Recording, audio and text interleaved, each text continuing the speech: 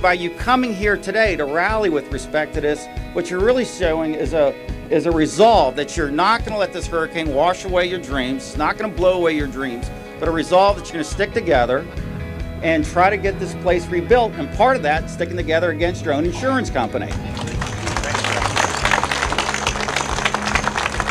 Now, and, and, and, it's important that you're here to show this. Most of the, most of the coastal communities that I go to throughout the United States, it's got to start somewhere.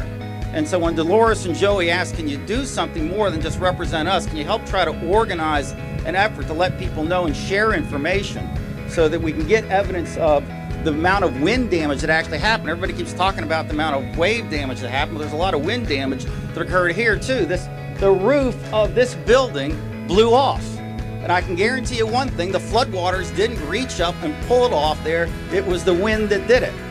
And so as a symbol of showing that, we know from talking a lot of the first responders, and thank God for the first responders, the police and the firemen, uh, that a lot of the construction people that were here right afterwards. Frankly, a lot of you volunteered. Thank you. You know, to get back out here and start restoring the shore and saving us, they, they, they have a, a wealth of information and knowledge just for them because they were here.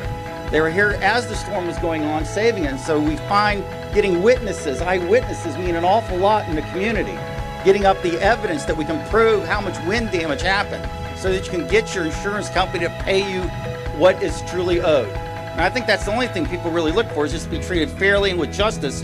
And what Joey and Dolores, you know, wanted me to get across to you today is don't give up.